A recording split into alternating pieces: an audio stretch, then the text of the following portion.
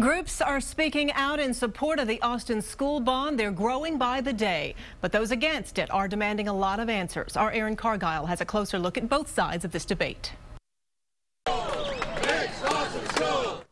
Three words from those who hope Austin passes the biggest school bond in city history, the mayor. We need to step up and vote for all of the bonds. The teachers union. We need schools to be repaired. Parents. We need to do this for our children. And several chambers of commerce standing behind it.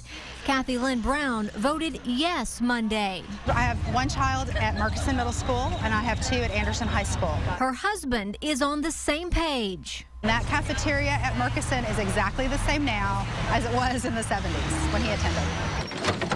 Roger Falk also voted in the school bond election.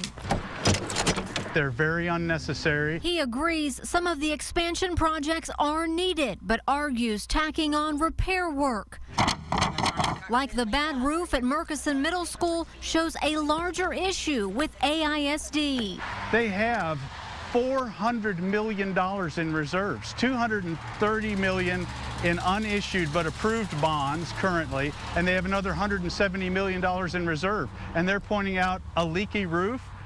Get real. They have the money to fix that roof. The member of the Travis County Taxpayers Union also questions the motives behind those funding the Political Action Committee behind this message. Look who's paying for those slick mailers and signs. It's not the PTA, it's not AISD, it's these contractors that stand to gain from all of this spending. Erin Cargile reporting. Parents who support the bond are raising their eyebrows at a member of the opposition. He stepped in front of the camera to speak several times about it, but can't even cast his vote at the polls. We'll tell you why tonight at 6 o'clock. Now, we want to give you a little closer look at what's on this ballot. Proposition 1 calls for more than $140 million in bonds. That money would upgrade school cafeterias and food service.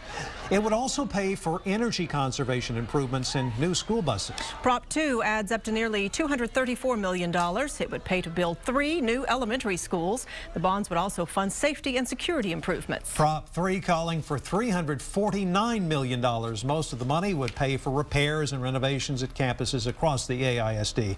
This bond would also fund library improvements in the district. Prop 4 would fund changes to create a boys' school in the district. It also includes money to fine, for fine arts programs as well as PE and athletics. Election day, by the way, May 11th.